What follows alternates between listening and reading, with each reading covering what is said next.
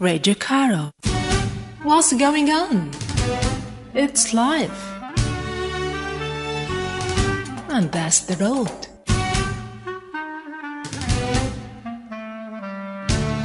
Life on the road.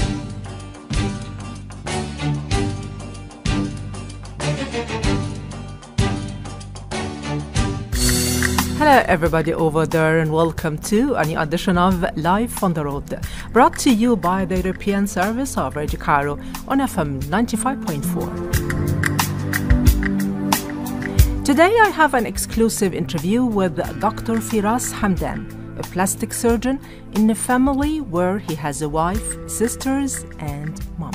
For myself, my wife, my sister, and even my mom is keeping them as natural as can be. You know, I'm not into the big cheeks, big lips, you know, big hips, big, uh, uh, uh, you know, chest. So uh, uh, being beautiful, and fortunately, my wife is scared of needles, so she is not all into it. Uh, but doing the minimum needed to let them age gracefully is what is important, rather than start cutting and filling and pulling uh, at an early age, and then by the time it's really needed, we already done it and we have nothing to do. So prevention uh, and maintenance is very important, and avoiding surgery. Uh, we're not going to avoid it forever. I mean, if somebody needs it, we will do it. But uh, uh, maintaining until the time of surgery and then maintaining until after surgery is very important. Unfortunately, in our age, there's a lot of weight loss surgeries that are going around, like the people who do uh, cutting their stomachs or uh, you know uh, avoiding it to, to lose weight. Uh, those people at early age, 20 or 30, they're all of a sudden losing a lot of weight and their skin is just falling out of their face, of their breast, or of their uh, you know stomachs, and then they have nothing to do but have a surgery early on. So we our motto for facelift was late 40s, early 50s. Now sometimes we might have to do it on a, a girl that's 30 years old because she lost too much skin and she has no more fat to to fill her up. So we have to tighten the skin sometimes and use other products that are safe to fill up the face and make her look natural. We're pulling to bring them back to where they were. Their face was beautiful, but their body was bigger than their face. Now they lost all the weight and the face has fallen at an early age. So sometimes we have to do it if we have. What about your sister asking for your help? Uh, well, I mean, they all. I have three sisters, you know, uh, and very proud of them. And they come to me and they are saying, "Let's do this, this," and they show me pictures. I say, "No, I will do this," and they listen to me. And now I've I've been back from the U.S. in 2006, so now we are 13 years here in the Middle East together, and they all look beautiful and natural, and have not done any surgery on their faces yet. They are so lucky having you. Thank you, thank you, and you know, we're lucky to meet you today.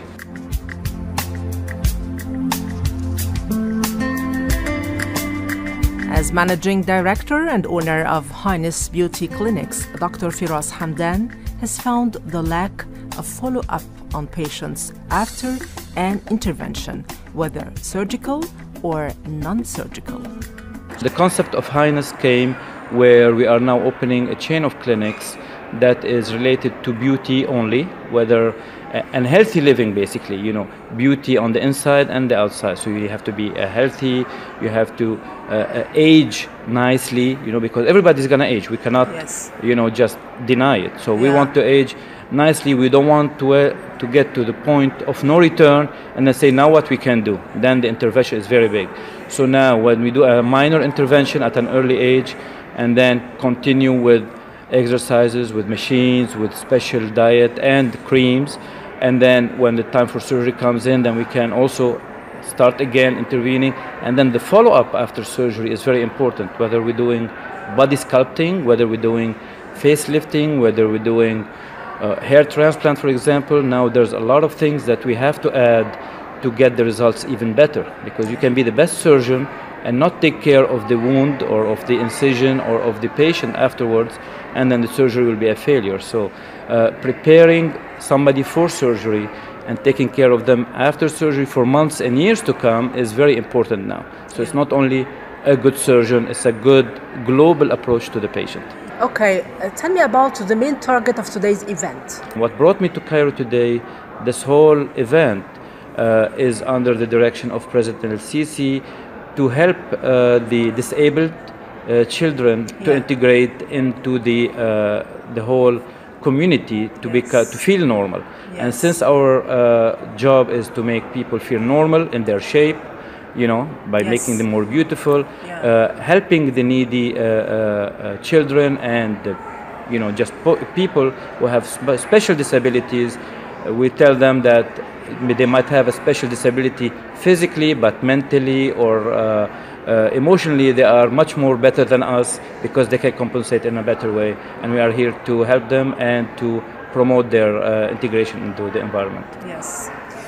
I have to seize the opportunity because I have a plastic surgeon on my show. Yes. I need your tips. Well, you know, the, the minimum tips is, you know, we are living here. Cairo is very dry sometimes. The sun is very, you know, we, we you know, we we pride ourselves for the sun, Yeah. but the sun sometimes have some damages on the skin. So you know, we have to take care. We need the sun for vitamin D. We need the sun for our health, but too much and not protecting our skin from the sun will make it age faster. Yes. We live in a polluted environment, you know, Cairo, uh, Beirut, we have a lot of pollution. So also, you know, that suffocates our skin. Uh, on top of that is the smoking, the shisha, the all the Yes. things that we cause to ourselves, the lack of sleep, staying up on the phones and the computers. So we start with ourselves, be healthy, Yeah. and then uh, you know try to avoid anything that will damage our skin because it's gonna age anyway. Why add more harming factors to it? And then you know try to counteract what we cause damage to our skin with some products. And then final, final, final thing, you get to the surgeon and we do what we needs to be done if we have to do anything. Yes, okay. Okay. Is there a, a strong link between the uh, food we eat and the beauty? Or we are lying on ourselves? Well, you know, old. Let's let's go to the Japanese. You know, the uh, the, the the people who are just eating raw fish and you know herbs and stuff like that. They're living to a hundred.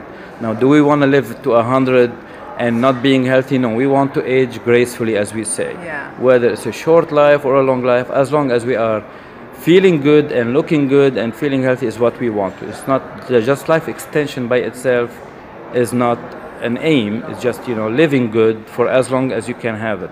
So the food, of course, you know a lot of hormones are getting into our foods, into our uh, uh, even uh, the the greeneries that we eat. The, you know we're adding to it hormones. The the chicken, the fish, it's all been farmed.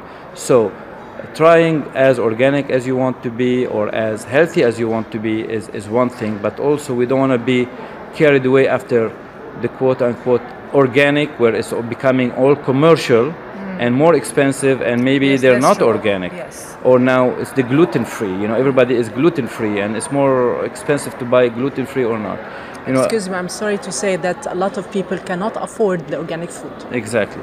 You know, the real organic food is what we used to grow in our villages. Yeah. You know, whether here in Egypt or in Lebanon or anywhere. You know, where it's everything organic. The the fertilizers from the uh, you know cow manure and you know the the so that's that's the real organic. Uh, uh, what we what we mean by organic and what we really want organic is to be away of antibiotic given to chicken and to cows, you know, so that they and giving them the hormone to grow faster and put them on the market faster. That's what we need to avoid. But anything else is is acceptable.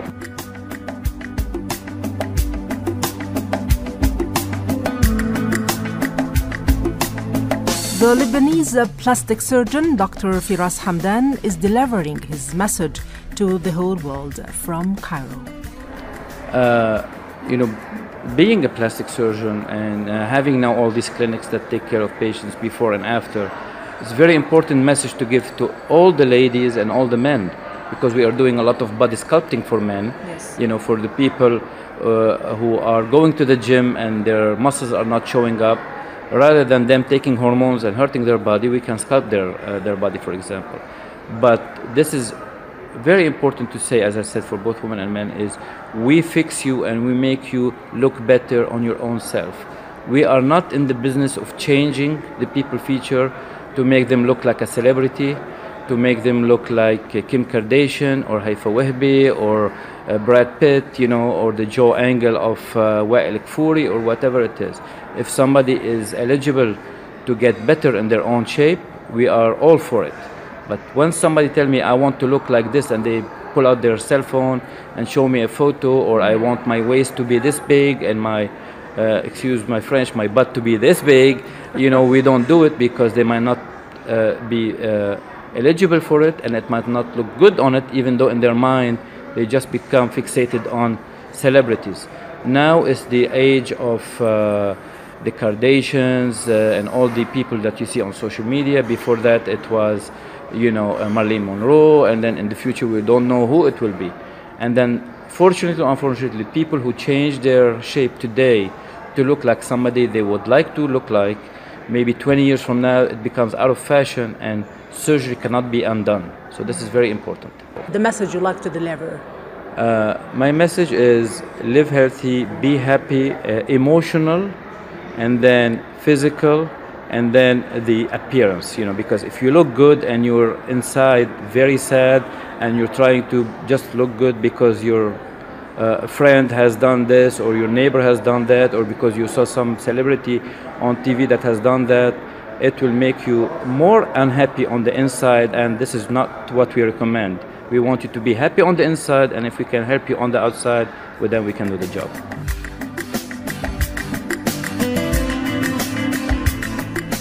You have been listening to Dr. Firas Hamdan, a plastic surgeon and managing director of Highness Beauty Clinics.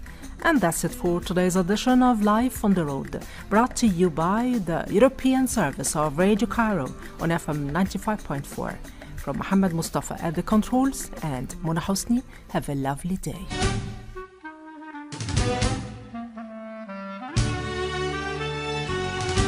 Life on the Road. with Mona Hosni.